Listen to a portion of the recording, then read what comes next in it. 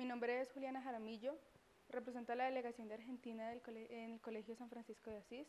Estoy en grado décimo y me parece un aprendizaje enorme venir al, al modelo de las Naciones Unidas porque se pierde el miedo a hablar en público y se tiene una visión más global del mundo y se adquieren nuevos, nuevas herramientas y nuevos argumentos para poder expresar lo que uno piensa y lo que uno siente con respecto a situaciones que se viven en el país y en diferentes lugares del mundo.